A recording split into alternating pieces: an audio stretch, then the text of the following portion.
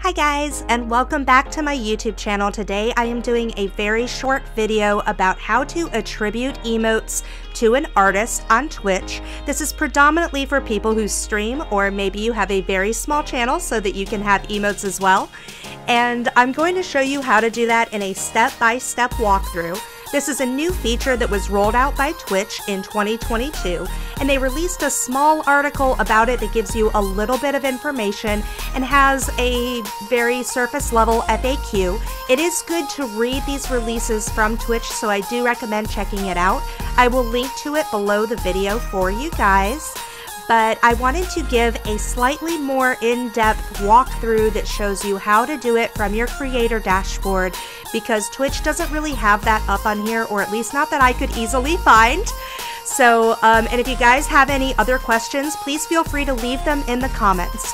So, I'm going to walk you guys through as if we are just coming in completely fresh from the outside on Twitch. So, we're going to start at your channel.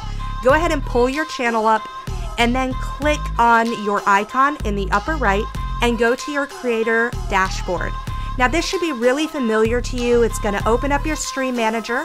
Everybody's looks a little different and you're going to look at the left hand side or at least that's where my creator dashboard is. You might be moving yours around um, and you're going to find a lot of different options.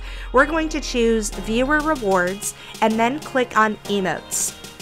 Now, I have some empty emote slots in here. I'm pretty guilty about it, but it does tell you right at the top about these new artist badges and emote attributions, and those links take you to the page that I've linked below the video.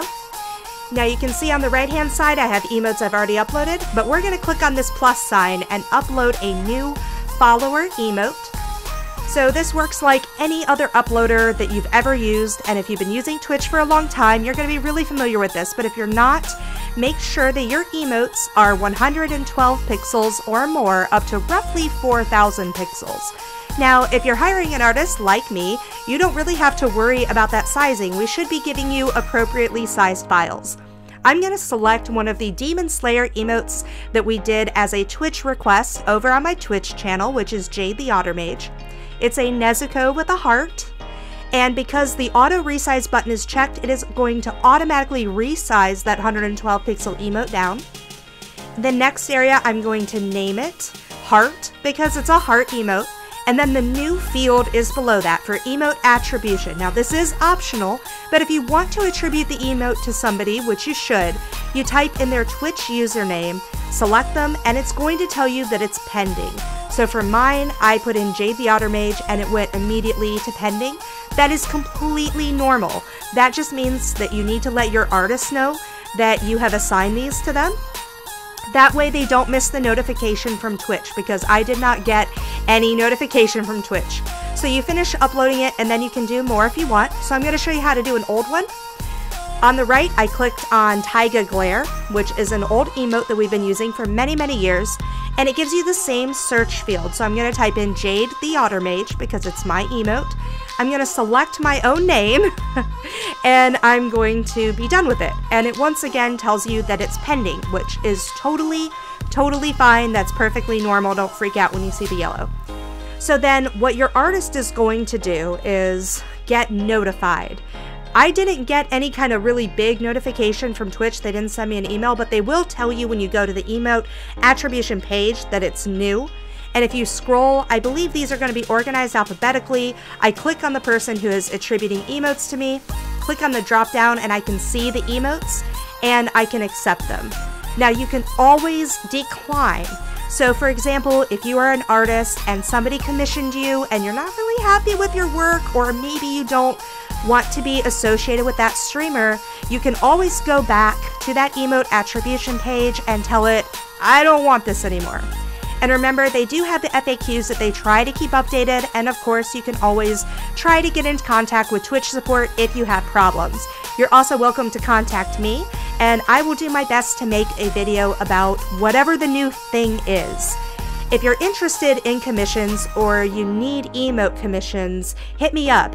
I have custom emotes ready to go. I have emotes that you can just buy directly in my shop for $5 or less and get your stream ready for all the latest content.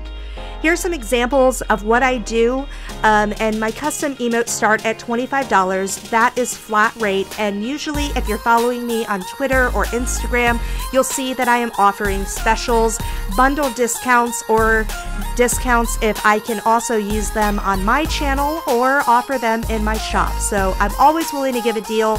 Please slide into my DMs if you're interested.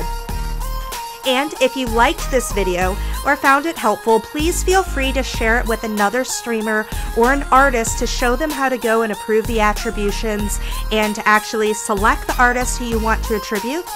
If you want to see more videos like this, please consider supporting me on Patreon because Patreon is a great way to tell me that you want me to continue producing web webcomic and content for the internet, stuff that is not something that I sell at conventions. Patreon is a great way to do that. Liking, subscribing, and commenting on my videos is a great way to do it too. You can also check me out. I am Jade the Otter Mage on Twitch. We have a fantastic Discord group and it's a whole lot of fun. I really enjoy hanging out with you guys. I hope that you've enjoyed this video. And thank you so much for checking me out, and thank you so much for joining me here on YouTube today. Have a great one, guys. Bye.